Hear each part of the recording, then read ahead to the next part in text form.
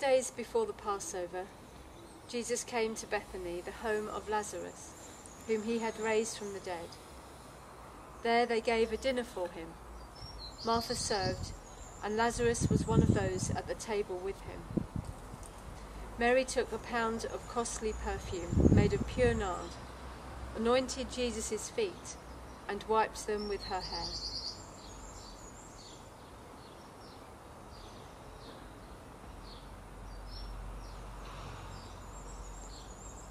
There were a lot of people around the table that night.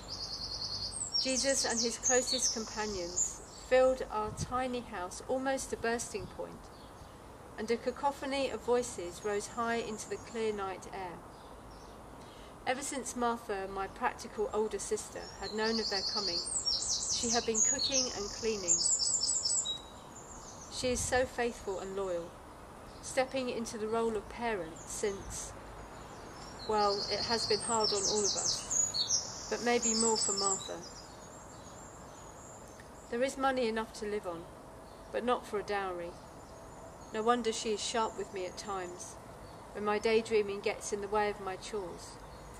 But her heart is good, and she always gives of herself in everything she does. Thanks to her, that particular night was a great success. The wine was flowing and the food was plentiful. There were tensions in the air, but I don't think many of us realised it would be the last time we would eat together. Martha's skirt rustled as she moved amongst our friends, offering respite and sustenance. And sitting where I was, tucked into my favourite corner by the fire, I caught drifts of the conversation. There were rising levels of hostility towards Jesus from the authorities but I don't think his friends quite got where it was going. I watched, surrounded by those who had lived with him for the past three years. Jesus turned his head to look in my direction. Our eyes met, and for me the noise and activity in the room ceased. Along with his hands, his eyes were one of his most striking features. When he looked at you, it was as if he was connecting with your very soul. Beautiful, dark, full of compassion. But tonight there was something more. Sadness I could not quite place.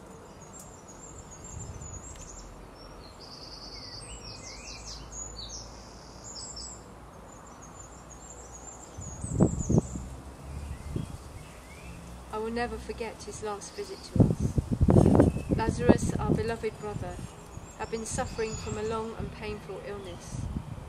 We had sent word to Jesus to come, but for some reason he stayed away. On the day Lazarus died, Martha and I felt as though we were drowning in an overwhelming sea of grief. And when Jesus finally came, four days later, I was in no fit state to leave the house. Martha, however, ran out to meet him and true to her nature, took him straight to where our brother was buried. By the time I joined them, he was calling Lazarus out of his tomb. And to my utter astonishment, out he came, still wrapped in his burial clothes. We all knew it then. The glory of God was standing beside us. Jesus, my friend, was the one whom our people had been waiting for the one whose presence the prophet Isaiah had foretold. I searched my mind. What was it that he had said? I am the Lord, that is my name. My glory I give to no other. See, the former things have come to pass, and new things I now declare. Before they spring up, I tell you of them.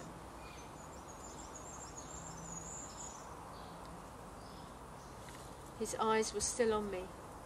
I loved him. That went without question. And I had sat at his feet on so many occasions, I knew he loved me too. No words passed between us, but I could tell he was asking me to sit there one more time, and for what reason. Quietly, I reached for the small jar of oil that I had bought from the market. It had taken everything I had. It had cost me the outrage of my sister, who called it an extravagant waste of our limited resources. But none of that seemed important anymore. I crossed the room and knelt before Jesus. His eyes were still on me as I gently poured the oil over his feet.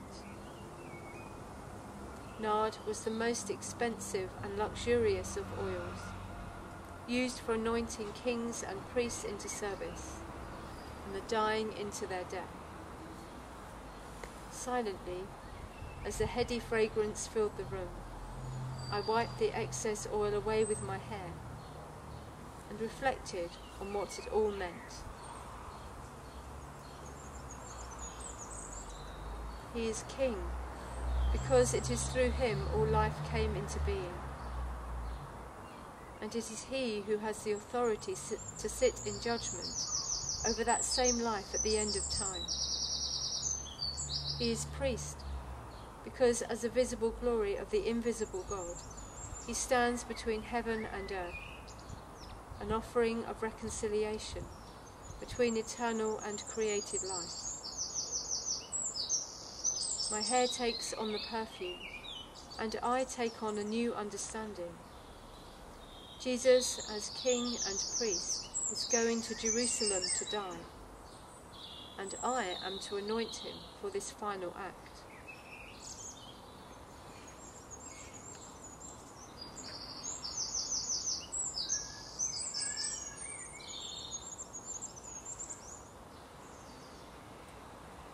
I close my eyes and surrendered to this most sacred truth. I remembered the words of the psalmist With you is the fountain of life. In your light shall we see light. O God, continue your steadfast love to those who know you, and your salvation to the upright of heart. To the side of me, I could hear Judas complaining about what I had done and I prayed for him to open his heart to these ancient words, but feared they would come too late.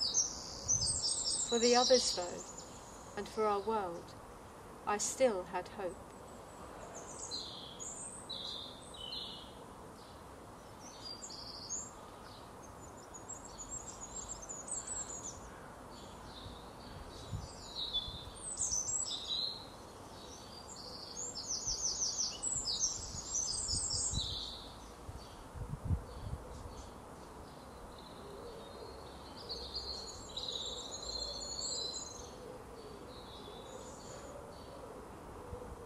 Almighty and everlasting God, who in your tender love towards the human race sent your Son, our Saviour Jesus Christ, to take upon him our flesh and to suffer death upon the cross. Grant that we may follow the example of his patience and humility, and also be made partakers of his resurrection through Jesus Christ, your Son, our Lord, who is alive and reigns with you in the unity of the Holy Spirit, one God, now and forever. Amen.